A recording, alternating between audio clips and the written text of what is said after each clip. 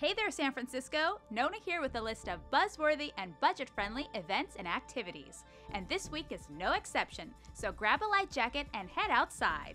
This is the Weekly Buzz.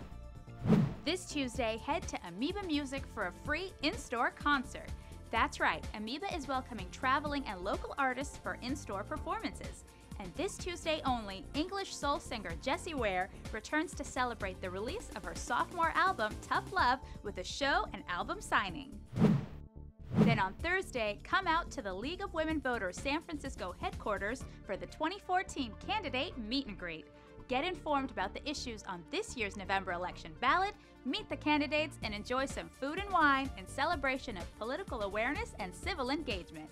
Get your tickets online and be there from 6:30 to 9. And on Sunday, it's yoga in the park at Dolores Park. Enjoy inverting, reverting, and melting into the ground. Join the group for a rejuvenating morning flow and meditation for body, mind, and spirit at 11 a.m. sharp. And that's the weekly buzz. For more info on these events and more, visit us at sfgovtv.org and click on Weekly Buzz. And while you're on the web, check out our YouTube page and scroll through some great original programs. Thanks for watching.